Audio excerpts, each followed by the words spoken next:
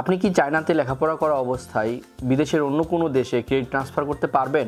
বা বাংলাদেশে পড়া অবস্থায় কি আপনি চায়নার কোনো ইউনিভার্সিটিতে ক্রেডিট ট্রান্সফার করতে পারবেন? হ্যালো শিক্ষার্থী বন্ধুরা, অনেকেরই কোশ্চেন থাকে ক্রেডিট ট্রান্সফার নিয়ে। যে বাংলাদেশ থেকে চায়নায় বা চায়না থেকে অন্য কোনো কান্ট্রিতে ট্রান্সফার করা যায় কি না অনেকের মধ্যে এই একটা বিভ্রান্তি আছে। ক্রেডিট ট্রান্সফার করা যায় কীভাবে? সেটা মূলত যে ইউনিভার্সিটিতে আপনি পড়ছেন, সেই ইউনিভার্সিটির সাথে যদি অন্য কোনো ইউনিভার্সিটির অ্যাফিলিয়েশন থাকে এবং আপনার ক্রেডিট যদি একই সমতায় থাকে এবং আপনি যে যতদূর পর্যন্ত পড়েছেন, ততটুকু ক্রেডিট ওই ইউনিভার্সিটিতে পড়ানো হয়েছে কিনা সব কিছুর উপর নির্ভর করে যে আপনার ক্রেডিট ট্রান্সফারটা করা পসিবল কিনা। তো বন্ধুরা, আপনারা যারা এই ক্রেডিট ট্রান্সফার করতে চাচ্ছেন, এক দেশ থেকে আর এক দেশে, তো ফার্স্টে আপনাকে নির্বাচন করতে হবে কোন ইউনিভার্সিটিটি আপনার ইউনিভার্সিটির সাথে অ্যাফিলিয়েশন আছে এবং ক্রেডিট মিল হচ্ছে কিনা। যখন ক্রেডিট মিল হচ্ছে অ্যাফিলিয়েশন আছে, তাহলে আপনি ওই কান্ট্রির ওই ইউনিভার্সিটিতে অবশ্যই ক্রেডিট ট্রান্সফার করতে পারবেন।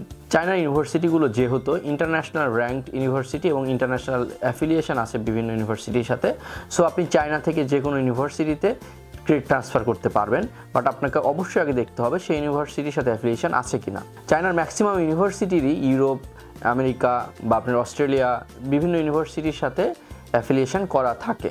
এছাড়া অনেকে বাংলাদেশে পড়া অবস্থায় আপনার চায়নাতে যেতে চাই, যে ইউনিভার্সিটিতে আমি ক্রেডিট ট্রান্সফার করব, তাহলে আপনাকে দেখতে হবে লাইক আপনি যদি ড্যাফোডিল ইউনিভার্সিটি বা নর্থ সাউথ ইউনিভার্সিটিতে পড়েন বা ঢাকা ইউনিভার্সিটিতে পড়েন, তাহলে সেই ইউনিভার্সিটির সাথে আপনার আপনি যে ইউনিভার্সিটিতে যেতে চাচ্ছেন, সেই ইউনিভার্সিটির অ্যাফিলিয়েশন আছে কিনা, সেটা আগে আপনাকে দেখতে হবে।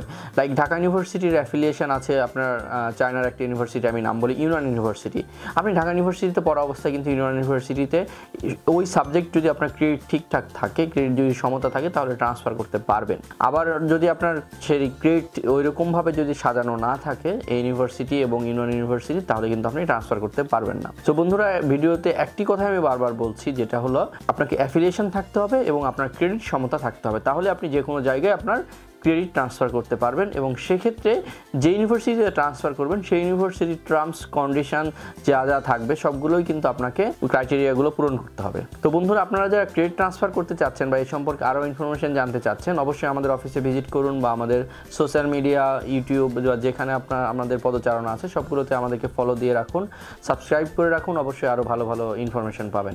ধন্যবাদ।